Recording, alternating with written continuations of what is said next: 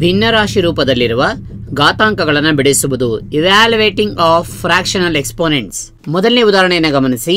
ಅರವತ್ನಾಲ್ಕರ ಘಾತ ಮೂರನೇ ಒಂದು. ಅಂದರೆ cube root of sixty four. ಇದನ್ನು ನಾವು ಹೇಳೋದಾದರೆ cube root of sixty four ಅಂತ ಹೇಳ್ತೀವಿ. ಇದನ್ನು cube root of ಬರೆಯೋದಾದರೆ cube root of sixty four ಅಂತ ಬರಿತೀವಿ. Cube root of sixty four ಈ ಅರವತ್ನಾಲ್ಕು ಒಂದು ಘನ ಸಂಖ್ಯೆಯಾಗಿದ್ದು ಯಾವುದರ ಘನ ಸಂಖ್ಯೆಯಾಗಿದೆ ಅಂತ ಒಂದ್ಸಾರಿ ಯೋಚನೆ ಮಾಡಿ. ಯೋಚನೆ ಮಾಡಿದಂಥ ಸಂದರ್ಭದಲ್ಲಿ ನಮಗೆ ಸಿಗತ್ತೆ ನಾಲ್ಕು ಇಂಟು ನಾಲ್ಕು ಇಂಟು ನಾಲ್ಕು. ನಾಲ್ಕು ನಾಲ್ಕಲಿ ಹದಿನಾರು ಹದಿನಾರು ನಾಲ್ಕಲಿ ಅರವತ್ತ ನಾಲ್ಕು ಅಂದರೆ ನಾಲ್ಕರ ಘನ ಸಂಖ್ಯೆಯಾಗಿದೆ ಈಕ್ವಲ್ ಟು ನಾಲ್ಕರ ಘನ ಸಂಖ್ಯೆ ಅದಾಗಿರೋದ್ರಿಂದ ಇದನ್ನು ಏನಂತ ಬರೀಬೋದಪ್ಪ ಅಂತಂದ್ರೆ ಕ್ಯೂಬ್ ರೂಟ್ ಆಫ್ ನಾಲ್ಕರ ಘಾತ ಮೂರು. ಇಲ್ಲಿ ಘನ, ಘನಮೂಲ ಕ್ಯಾನ್ಸಲ್. ನಮ್ಗೆ ಬಂದಂತಹ ಉತ್ತರ ಎಷ್ಟಪ್ಪ ಅಂದ್ರೆ ನಾಲ್ಕು. ಅಂದ್ರೆ ಅರವತ್ನಾಲ್ಕರ ಘಾತ ಮೂರನೇ ಒಂದು ಅಂತಂದ್ರೆ ಅದ್ರ ಉತ್ತರ ಎಷ್ಟಪ್ಪ ಅಂದ್ರೆ ನಾಲ್ಕಾಯ್ತು ಈಗ ಮತ್ತೊಂದು ಉದಾಹರಣೆಯನ್ನ ಇಲ್ಲಿ ತೆಗೆದುಕೊಳ್ಳೋಣ. ನಾಲ್ಕರ ಘಾತ ಮೂರನೇ ಎರಡು. ಈಗ ಇದನ್ನ ಬಿಡಿಸ್ಕೊಳ್ಳೋಣ. ಅರವತ್ನಾಲ್ಕರ ಘಾತ ಮೂರನೇ ಒಂದು. ಅದರ ಘಾತ ಎರಡು ಅಂತ ಬಿಡಿಸ್ಬೋದಾಗಿದೆ ಇದನ್ನ. ಯಾಕೆಂದ್ರೆ ಇಲ್ಲಿ ಎರಡು ಒಂದ್ಲ ಎರಡು ಇದನ್ನ ಬಿಡಿಸ್ಕೊಳ್ಬೋದು. ಈಗ ಉದಾಹರಣೆ ಇಲ್ಲಿ ನೋಡೋಣ. ಈಗ ಎರಡರ ಘಾತ ಮೂರು, ಅದರ ಘಾತ ನಾಲ್ಕು ಅಂತಿದ್ದಾಗ ನಾವೇನು ಮಾಡ್ಬೋದಪ್ಪ ಅಂದರೆ ಎರಡರ ಘಾತ ಮೂರು ಇಂಟು ನಾಲ್ಕು ಅಂತ ಬಿಡಿಸಿ ಬರುತ್ತೇವೆ. ಎರಡರ ಘಾತ ಮೂರು ಇಂಟು ನಾಲ್ಕು ಅಂದ್ರೆ ಎರಡರ ಘಾತ ಹನ್ನೆರಡು ಮೂ ನಾಲ್ಕಲೆ ಹನ್ನೆರಡು.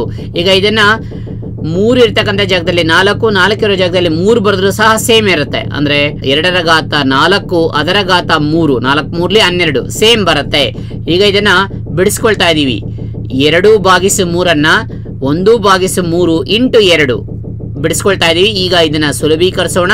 ಅರವತ್ನಾಲ್ಕರ ಕ್ಯೂಬ್ ರೂಟ್. ಇಲ್ಲಿ ಇಲ್ಲಿ ಬಂದಿದೆ ನೋಡಿ. ಅರವತ್ನಾಲ್ಕರ ಕ್ಯೂಬ್ ರೂಟ್. ಅಂದ್ರೆ ಎಷ್ಟು ಬಂತು? ನಾಲ್ಕು. ಅದರ ವರ್ಗ ನಾಲ್ಕರ ವರ್ಗ. ನಾಲ್ಕರ ವರ್ಗ ಅಂದಿದ ತಕ್ಷಣ ನಮಗೆ ಉತ್ತರ ಗೊತ್ತಾಯ್ತು.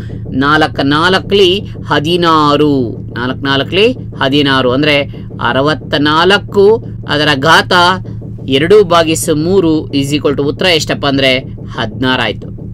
ಈಗ ಮತ್ತೊಂದು ಲೆಕ್ಕವನ್ನ ನಾವಿಲ್ಲಿ ತೆಗೆದುಕೊಳ್ತಾ ಇದ್ದೇವೆ. ಎಂಟು ಬಾಗಿಸು ಇಪ್ಪತ್ತೇಳು ಅದರ ಘಾತ ಮೈನಸ್ ಎರಡು ಬಾಗಿಸು ಮೂರು. ಇಲ್ಲಿ ನೆಗೆಟಿವ್ ವ್ಯಾಲ್ಯೂ ಬಂದಿದೆ. ನೆಗೆಟಿವ್ ವ್ಯಾಲ್ಯೂ ಬಂದಿರೋದ್ರಿಂದ ಇದನ್ನ ಪಾಸಿಟಿವ್ ವ್ಯಾಲ್ಯೂ ಮಾಡ್ಕೊಳ್ಬೇಕಾದ್ರೆ ಇದರ ರೆಸಿಪ್ರೋಕಲ್ ಅನ್ನ ತೆಗೆದುಕೊಳ್ಳಿ.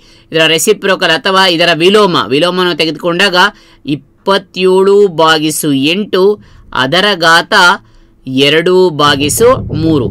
ಈಗ ಅಂಶಕ್ಕೆ ಪ್ರತ್ಯೇಕವಾಗಿ ಘಾತವನ್ನು ಹಾಕೊಳ್ಳಿ, ಛೇದಕ್ಕೆ ಪ್ರತ್ಯೇಕವಾಗಿ ಘಾತವನ್ನು ಹಾಕೊಳ್ಳಿ. ಇಪ್ಪತ್ತೇಳು, ಅದರ ಘಾತ ಎರಡು ಬಾಗಿಸು ಮೂರು ಎಂಟು, ಅದರ ಘಾತ ಎರಡು ಬಾಗಿಸು ಮೂರು. ನೋಡಿ, ಇಲ್ಲಿ ಸೇಮ್ ಇದೆ. ಇಲ್ಲಿ ಬಂದಿರತಕ್ಕಂತ ವಿಧಾನದಲ್ಲೇ ಇದನ್ನ ಬಿಡಿಸ್ಕೊಳ್ಬೇಕಾಗತ್ತೆ. ಅಂದ್ರೆ ಇಪ್ಪತ್ತೇಳು, ಅದರ ಘಾತ ಒಂದು ಬಾಗಿಸು ಮೂರು, ಅದರ ಘಾತ ಎರಡು ಡಿವೈಡೆಡ್ ಬೈ ಎಂಟು, ಅದರ ಘಾತ ಒಂದು ಬಾಗಿಸು ಮೂರು, ಅದರ ಘಾತ ಎರಡು. ಇಪ್ಪತ್ತೇಳರ ಘನಮೂಲ ಇಪ್ಪತ್ತೇಳರ ಘನಮೂಲ ಮತ್ತು ಅದರ ವರ್ಗ. ಈಗ ಇಪ್ಪತ್ತೇಳರ ಘನಮೂಲ ಇಪ್ಪತ್ತೇಳರ ಘನಮೂಲ ಅಂದಿದ ತಕ್ಷಣ ನಮಗೆ ಬರ, ಗೊತ್ತಾಗತ್ತೆ. ಇಪ್ಪತ್ತೇಳು ಯಾವುದರ ಒಂದು ಘನ ಸಂಖ್ಯೆ ಆಗಿದೆ ಅಂದರೆ ಮೂರರ ಘನ ಸಂಖ್ಯೆ ಆಗಿದೆ ಅಂದರೆ ಈ ಒಂದು ಇದನ್ನು ಮೂರು ಅಂತ ಬರೀಬೋದು. ಘನಮೂಲ ಇಪ್ಪತ್ತೇಳು ದಟ್ಸ್ ಈಕ್ವಲ್ ಟು ಘನಮೂಲ ಮೂರರ ಘನ. ಇದು ಇದು ಕ್ಯಾನ್ಸಲ್ ಘನ, ಘನಮೂಲ ಕ್ಯಾನ್ಸಲ್ ಉತ್ತರ ಎಷ್ಟಪ್ಪ ಅಂದರೆ ಮೂರು, ಬಂದಿದ್ದೀವಿ. ನೆಕ್ಸ್ಟು ಎಂಟು.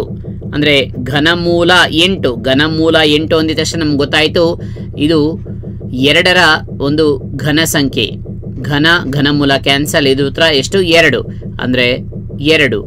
ಮೂರರ ವರ್ಗ ಡಿವೈಡೆಡ್ ಬೈ ಎರಡರ ವರ್ಗ. ಮೂರರ ವರ್ಗ. ಮೂರರ ವರ್ಗವನ್ನು ನಾವು ತೆಗೆದುಕೊಂಡಿದ್ದೇವೆ. ಮೂರರ ವರ್ಗ ಒಂಬತ್ತು. ಮೂರು, ಮೂರಲಿ ಒಂಬತ್ತು. ಎರಡರ ವರ್ಗ ನಾಲ್ಕು. ಅಂದರೆ ಎರಡು, ಎರಡಲಿ ನಾಲ್ಕು. ಅಂದರೆ ಇದರ ಉತ್ತರ ಎಷ್ಟಾಯ್ತಪ್ಪ ಅಂದರೆ ಎಂಟು ಬಾಗಿಸು ಇಪ್ಪತ್ತೇಳು, ಅದರ ಘಾತ ಮೈನಸ್ ಎರಡು ಬಾಗಿಸು ಮೂರು, ಅಂದರೆ ಉತ್ತರ ಎಷ್ಟಪ್ಪ ಅಂದರೆ ಒಂಬತ್ತು ಬಾಗಿಸು ನಾಲ್ಕು. ಈ ರೀತಿಯಾಗಿ ಭಿನ್ನರಾಶಿ ರೂಪದಲ್ಲಿರುವ ಘಾತಾಂಕಗಳನ್ನು ಬಿಡಿಸಬಹುದಾಗಿದೆ.